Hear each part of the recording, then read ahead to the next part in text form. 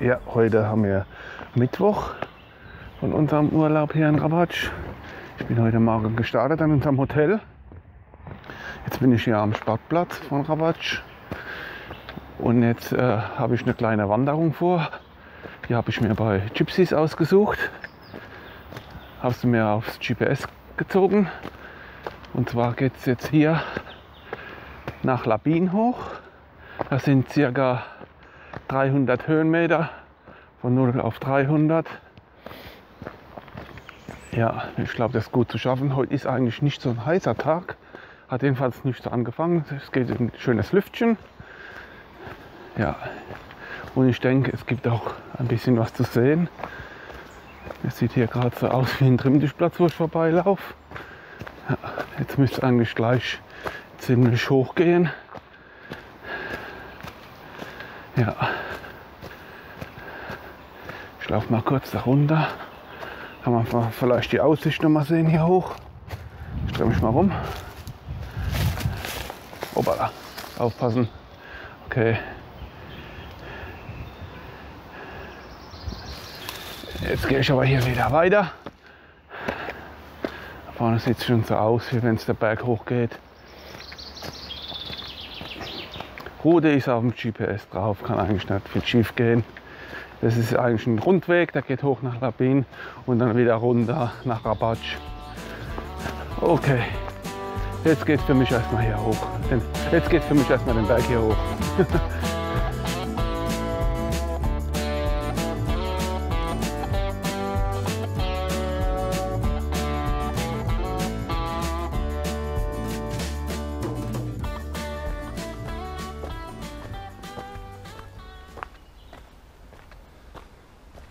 geht es schön durch den Wald jetzt schon mal. Schon einige Höhenmeter zurückgelegt. Hallo. Ja, hier ist gerade eine Schulklasse unterwegs. Die zelten, glaube ich, unten am Sportplatz. Die sind alle schon an mir vorbei. Das sind jetzt ein paar Nachzügler hier noch. Ah, da vorne kommen noch welche. Hoppa. Hallo.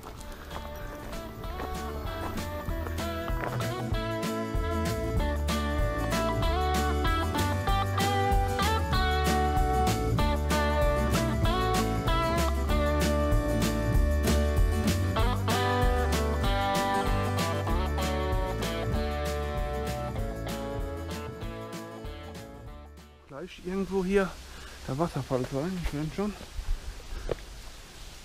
Wir hier. Ah ja.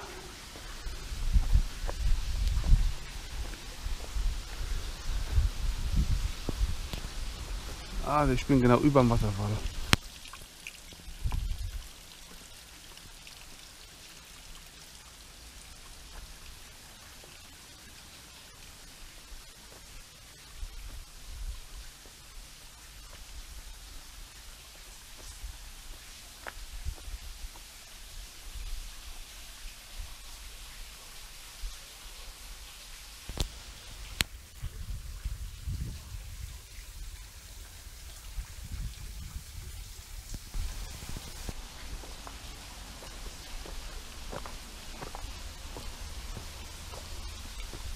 So, jetzt gehe ich aber wieder zurück auf meinen Weg. Mal ein kurzer Blick hier runter. Hier genau über dem Wasserfall. Ein kleiner Wasserfall. Also nicht so wie bei den Bliwitzer Seen. okay, Wanderschuhe haben wir keine. Muss halt mit den Sportschuhen gehen. Ne?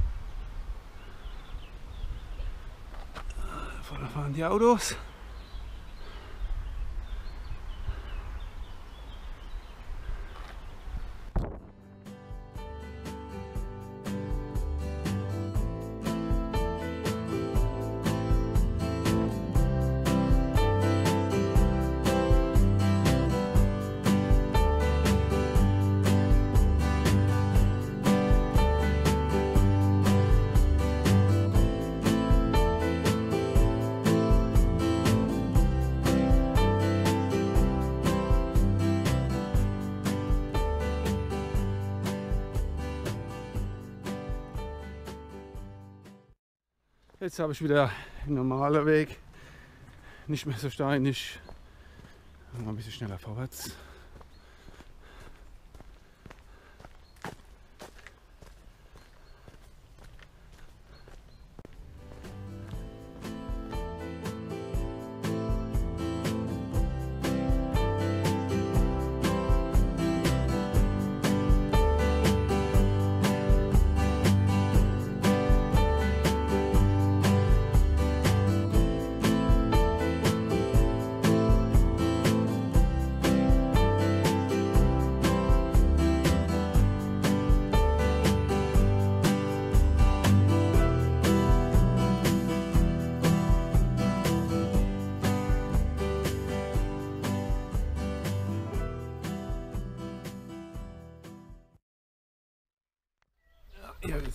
Ein kleines bisschen felsreicher.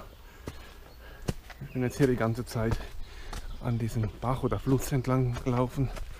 Das sind äh, einige Stege, wo drüber gehen. Und ja, Schulkinder sind wir auch einige jetzt schon entgegengekommen wieder.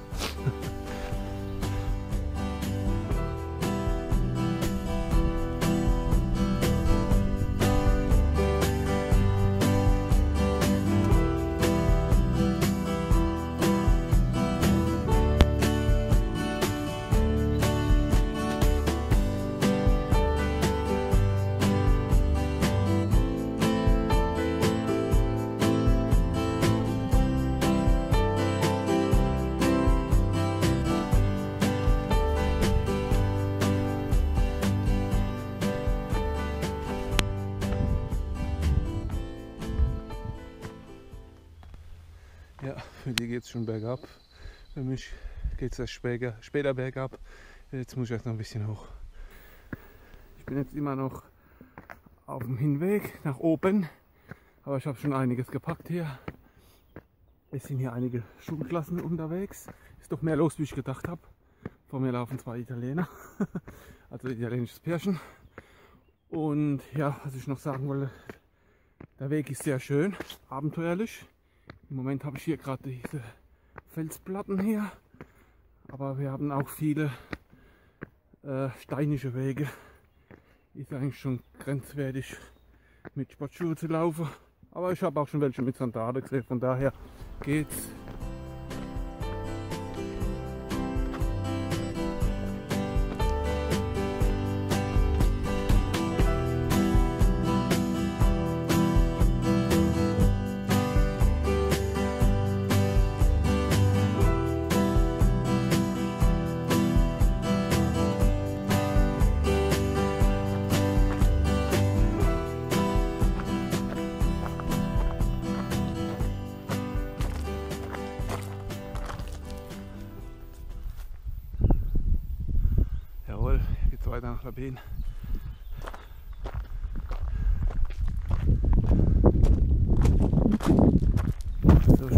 In Labin angekommen.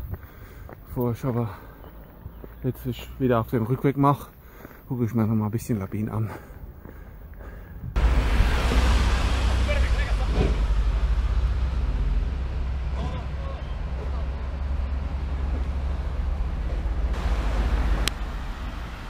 Ja, Rijeka 55 Kilometer, Kula 40 Kilometer von da oben aus.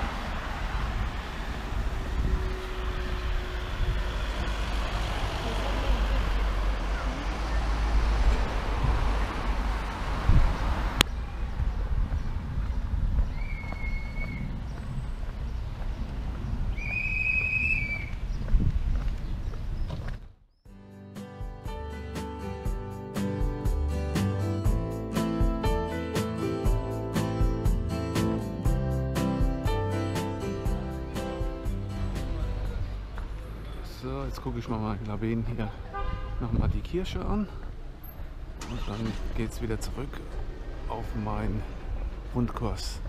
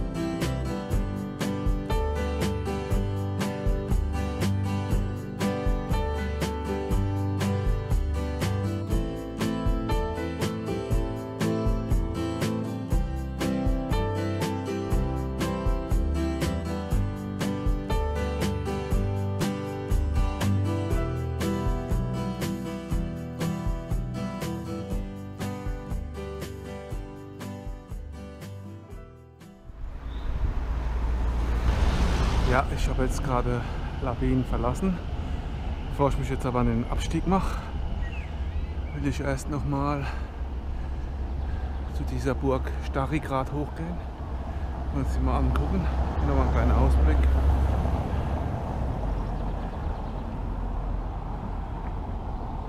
Ich kann ja mal hier einlaufen. Vielleicht ein bisschen besser.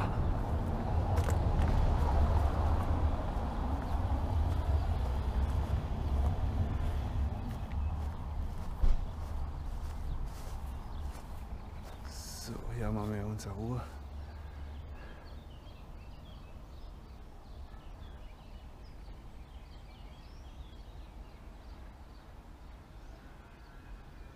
So, okay.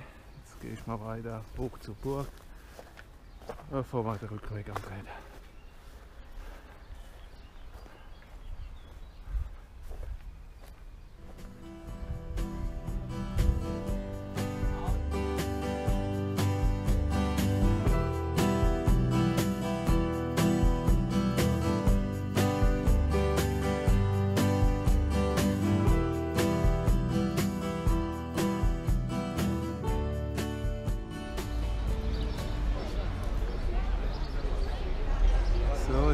Geschafft.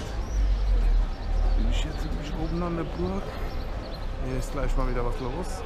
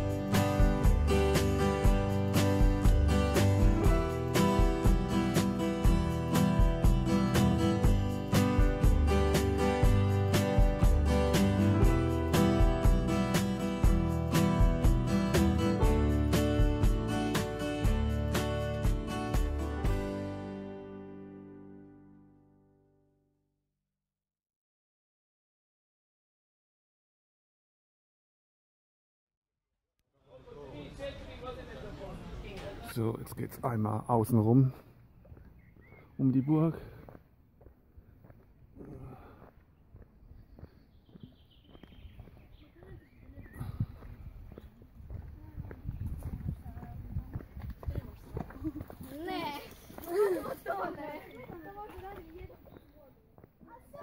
Hier überall diese Köpfe von irgendwelchen Dichter oder Berühmtheiten, ich weiß es nicht.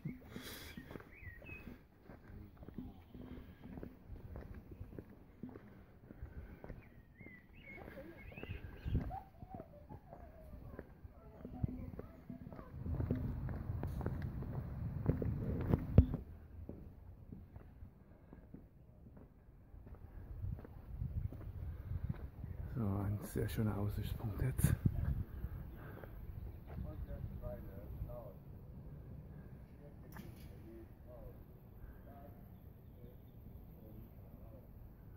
Ja, Blick nochmal auf Rabatsch.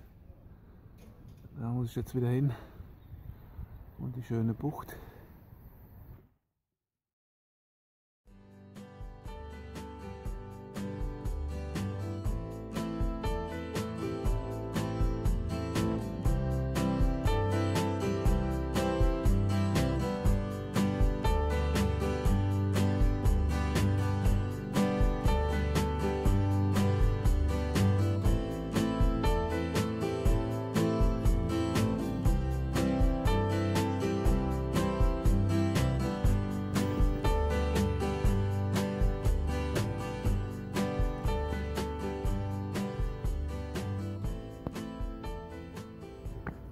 Jetzt geht es wieder runter von der Burg.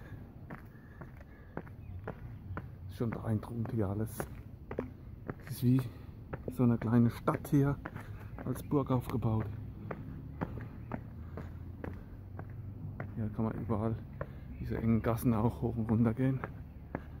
Und ich bin außen rumgelaufen. Das macht aber nichts.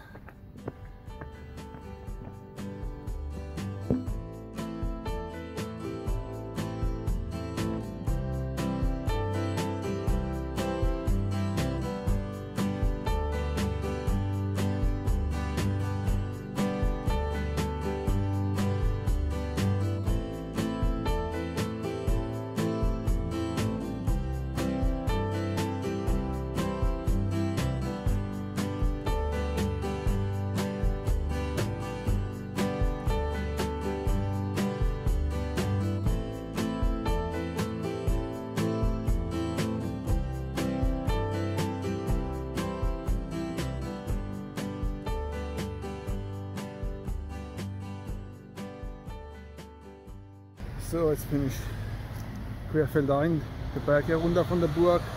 War mal eine schöne Abkürzung. Muss auch mal sein. Hinter mir sieht man jetzt nochmal die Burg und den Ort, wo wir eben waren. Und mich geht jetzt wieder hier weiter.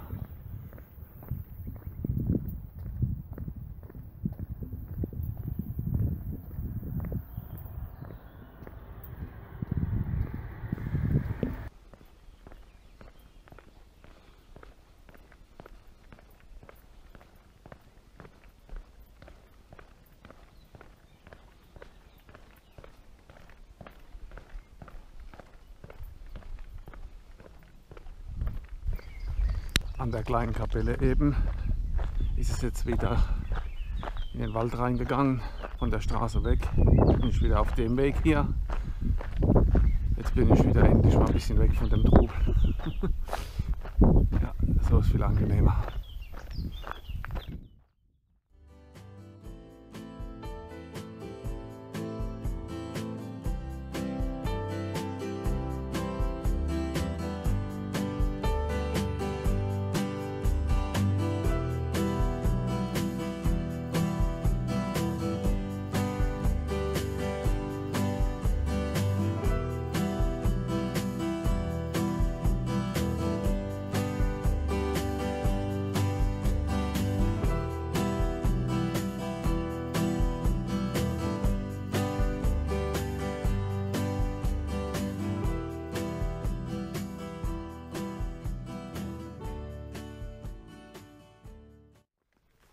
Jetzt ist es wieder schön ruhig. Ich bin im Wald.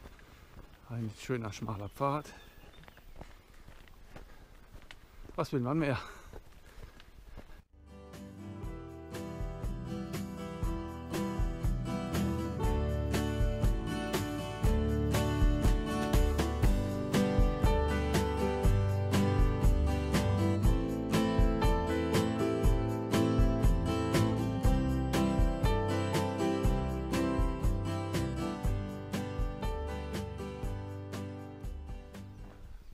Burg ist immer noch in Sichtweite.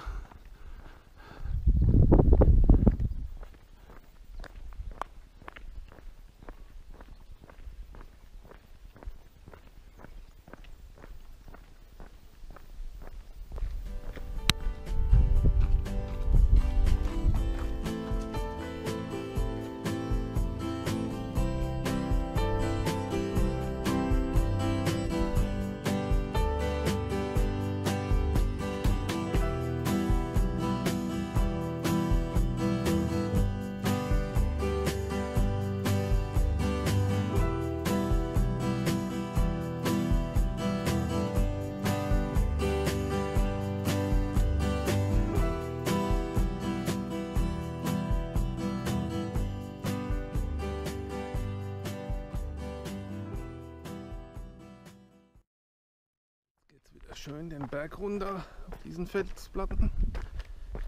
Da muss ich auch gut aufpassen mit meinen Schuhen. Ja, habe leider keine Wanderschuhe dabei im Urlaub. Aber ist nicht so schlimm. Wir können ja langsam machen.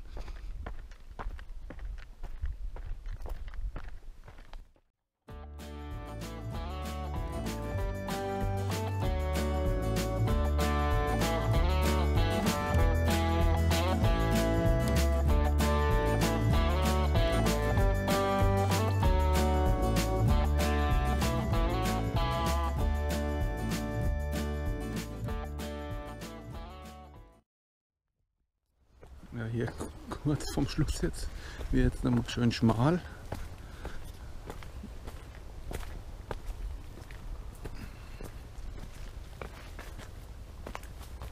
Ist noch die Wegmarkierung.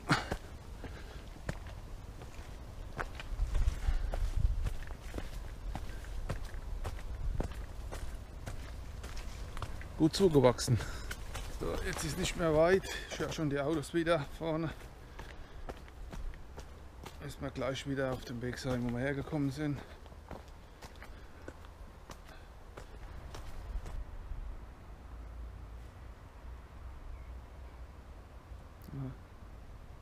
Irgendwas war das mal hier, dieser Schacht. Geht's gut runter.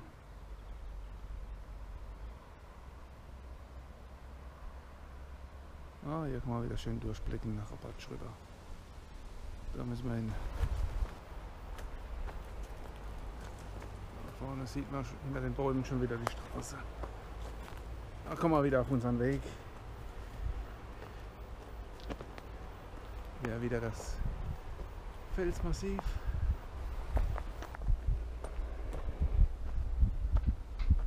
Was ist das hier?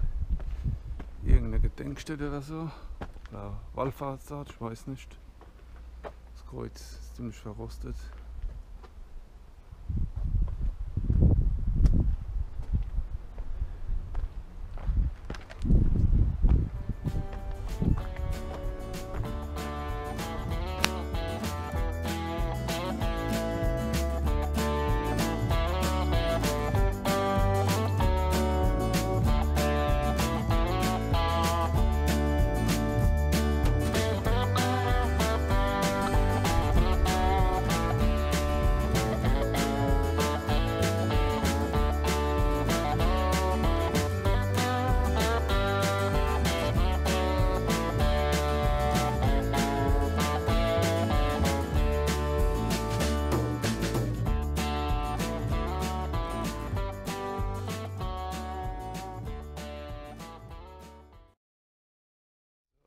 Wieder am Wasserfall.